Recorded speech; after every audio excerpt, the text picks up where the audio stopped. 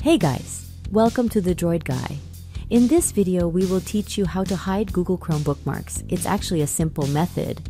However, there are times that it won't go away easily, particularly in the new tab page. As you can see, this is the bookmarks bar. This is actually very helpful because you can save your favorite website here. If you're wondering how to hide the bookmarks bar, then keep watching. To hide, simply right click on bookmarks bar and uncheck the show bookmarks bar.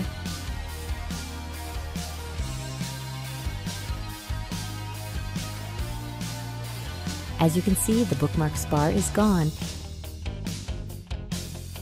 You also have the option to click on the three dots menu on the upper right corner. Then click Bookmarks, then toggle Show Bookmarks bar.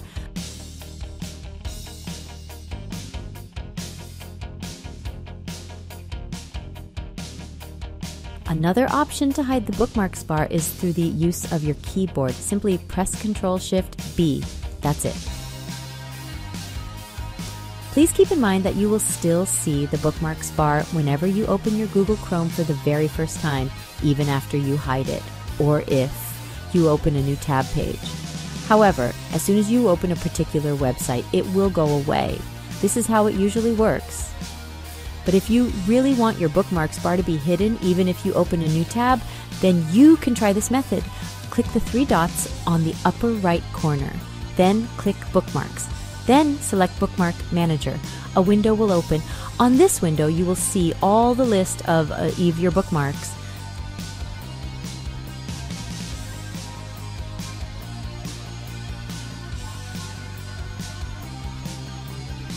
Select all of these, simply press Ctrl A. Then right click and select Cut. Then click Other Bookmark folder and then paste it.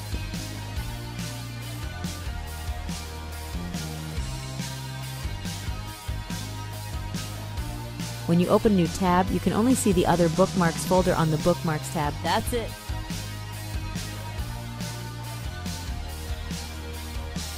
I hope this was helpful. Please make sure to like, share, and subscribe to our channel. Thanks for watching.